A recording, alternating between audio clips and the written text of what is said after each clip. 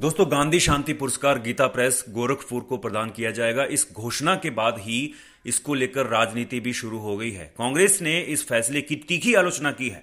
कांग्रेस नेता की ओर से इसे मज़ाक बताया गया और इस फैसले पर सवाल खड़े किए गए हैं।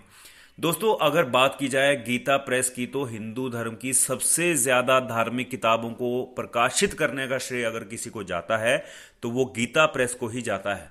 गीता प्रेस के कारण ही आसान व सरल भाषा में सभी धार्मिक किताबें समाज में मौजूद हैं, जिन्हें हर कोई पढ़ता है और सीखता है। गीता प्रेस दुनिया के सबसे बड़े प्रकाशकों में से एक है। गीता प्रेस 14-15 भाषाओं में अपनी पुस्तकों को प्रकाशित करता है। अब तक गीता प्रेस ने 41 करोड़ पुस्तकों का प्रकाशन किया है।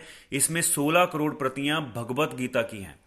वहीं गीता प्रेस ने रामचरित मानस, रामायण, तुलसीदास के कई साहित्यों को प्रकाशित किया है। शिव पुराण, गरुड़ पुराण पुराण की करोड़ों किताबें गीता प्रेस द्वारा प्रकाशित की जा चुकी हैं। और दोस्तों, गीता प्रेस ना तो चंदा मांगती है और ना ही विज्ञापन करके कमाई करती है।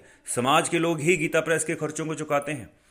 प्रधानमंत्री नरेंद्र मोदी की अध्यक्षता वाली जूरी ने 2021 के गांधी शांति पुरस्कार के लिए सर्वसम्मति से गीता प्रेस गोरखपुर को चुना है। लेकिन कांग्रेस महासचिव जयराम रमेश ने कहा कि यह फैसला वास्तव में एक मज़ाक है तथा सावरकर एवं गोडसे को पुरस्कार देने जैसा है।